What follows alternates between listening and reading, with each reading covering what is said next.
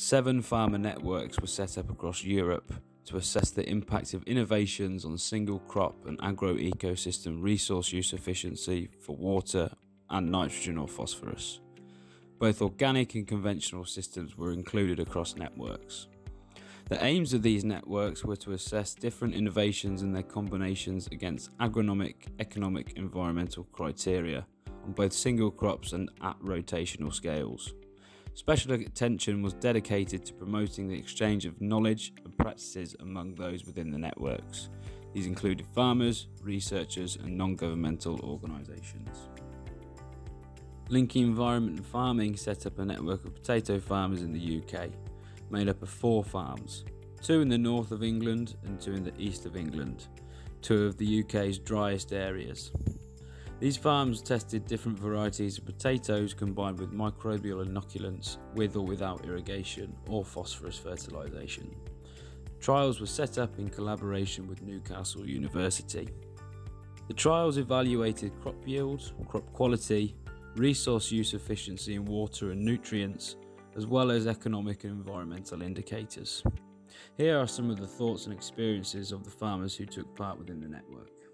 I would say we're always looking at new varieties, new ways of farming, and um, different ways of doing things, which is why I got involved with this project. To trial new varieties of potatoes that are hopefully more drought resistant and more tasty, because at the end of the day, it comes down to uh, marketing, and um, my produce needs to be marketed. And if um, I can get an advantage because something sells better because it tastes better, or the consumer wants it, um, obviously I'm going to try and grow it.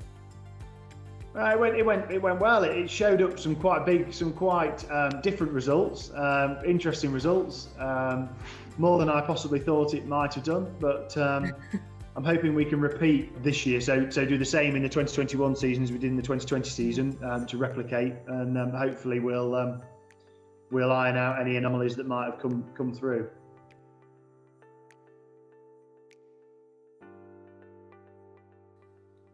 Just that it's it's doable. Putting these inoculants, putting bacteria, putting things like that in in a in a in close proximity to a crop might affect it. You know, I mean, we, we all the, the trendy thing at the minute is is to is to build soil health um, generally. You know, if we can if we can specify that exactly where we need to in, in, a, in a certain part of the the field, you know, in, in, right around the crop we're growing, then um, it's, it's, it's gonna it's, it's got to help.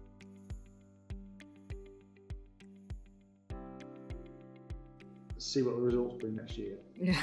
If, if, if they if they chuck, they chuck some good results out, like they have, you know, I say some good, some some quite big changes out this time, then I think, yeah, yeah, anything's worth anything's worth a go.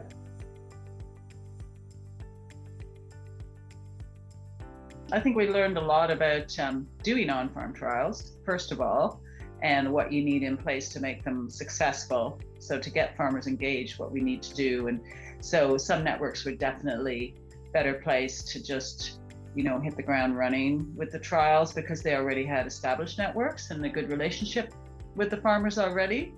Um, other networks uh, had to sort of establish a network first and then do some trials, so that took a little bit more time. So, but nonetheless, we did have farmers in this, uh, you know, in our networks who'd never done this sort of thing before, and some of them really engaged and really, I think, enjoyed it and got a lot out of it. Farmers and some of the agronomists were also a bit skeptical about the potential of inoculants because of, in some cases, they have been tried in, in some of these groups, or some of the farmers might have tried them before and not had success. So there was a little bit of healthy skepticism there about using the inoculants. But we what we did was we used uh, a few different um, consortiums is the word they use. So a few different consortiums of organisms that had been selected uh, by the SolACE project. But in some cases, like in the UK potato trial, we also compared with uh, an existing inoculant that's on the market. In the UK, where uh, I have the most experience and we did quite a bit of work with inoculants, uh, we had some interesting results. So in some cases, we found there was a positive effect from the commercially available inoculant, um, particularly in conditions where uh, there was irrigation provided. So we had one farm that we think had a soil possibly not too rich in microbial organisms. Um, so that really responded when inoculant was added, but you also needed to add the irrigation water as well to create the optimum conditions. And then we did see a real benefit in that situation. In other situations where we had farmers with soils that were maybe healthier, higher active populations of, of organisms already, we didn't see an effect from inoculants. So it just emphasized to us, I think what we know already that is very much dependent on uh, local conditions, whether or not you get a response from an added inoculant.